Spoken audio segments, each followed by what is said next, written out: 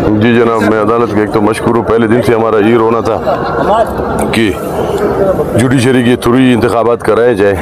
تو وہ نہیں ہوا، پھر یہ دن دیکھنے کو پڑ رہے ہیں۔ یہ آر نے جو کی، جج صاحب نے بھی ان کی اچھی عزت افزائی کی ہے۔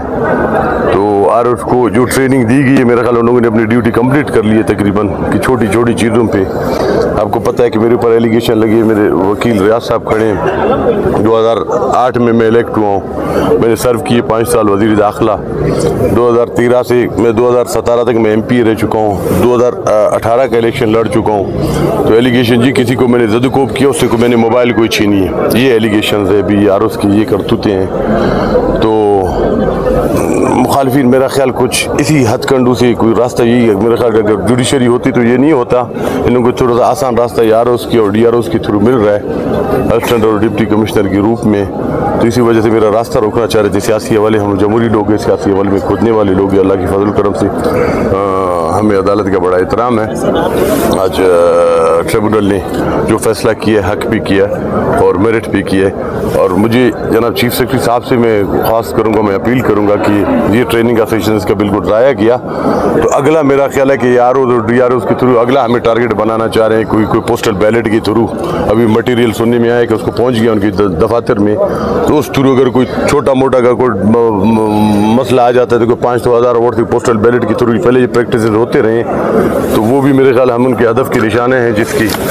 تو اس کے علاوہ آگے کا بھی ہمیں خدشہ ابھی شروع شروع میں اگر یہ ہے کہ ان کو اپنے کیریئر آفیسر ہیں وہ اپنے کیریئر کا بھی کچھ نہیں ہے، کچھ چار پیسوں کی خاطر یا تھوڑی سی لالچ میں آ کے، تھوڑی سی دھونس دھمکی میں آ کے یہ فیصلہ دیتے تو ہمیں خدشہ ہے کہ آگے بھی ہمیں بہت مشکلات کا سامنا کرے، کرنا پڑے گا۔ بہرحال جمیعت علماء اسلام ان چیز کے لیے تیار ہے، الیکشنوں کے لیے تیار ہے۔ ان سب چیزوں کا سامنا کرنے کے لیے تیار ہے۔ چیف سیکرٹری صاحب سے اپیل ہے کہ ان کو اتنے زیادہ نہیں ہے، میرے کو ساٹھ، ستر کے قریب R Os D R Os تو مہربانی کر کے اس کو ایک دفعہ بلا کے، اپنے اختیارات کا استعمال کر کے آئندہ کسی کی اس طرح حق تلفی نہیں ہو۔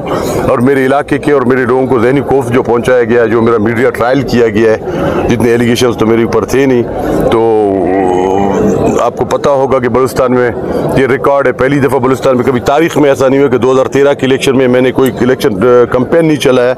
اور اپنے گھر میں بیٹھا رہا ہوں، مجھے آج تک پتہ نہیں کہ میں نے ایجنٹ اپنے کون سے اپنے ایجنٹ میرے کون تھے میرے ایجنٹ کا بھی مجھے نام نہیں پتہ، میں ایک دن کا کمپین بھی نہیں چلایا بلوچستان تاریخ میں پہلی دفعہ ہوا کہ گھر میں بیٹھے بیٹھے لوگوں نے مجھے دو ہزار تیرہ میں الیکٹ کی۔